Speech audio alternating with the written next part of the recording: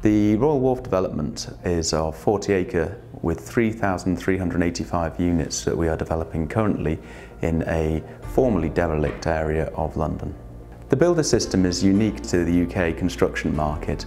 We have tried to use other construction teams and systems, but none of them have the integration of facade, engineering, and structure that the Builder system gives us. The design support we receive from Buildis um, and the ability to go to the factory, inspect components and ensure quality throughout and the integrity of which this is done is second to none.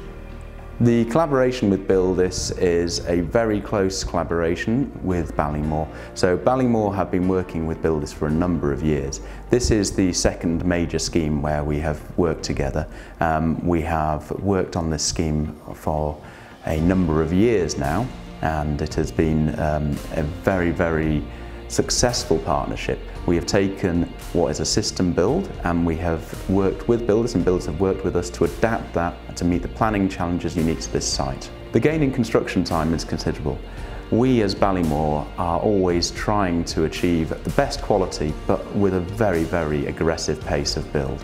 The Byldis system, whilst we need to work with the early stages of this to enable this development, has uh, probably a year gain on some of the in situ methods we've used.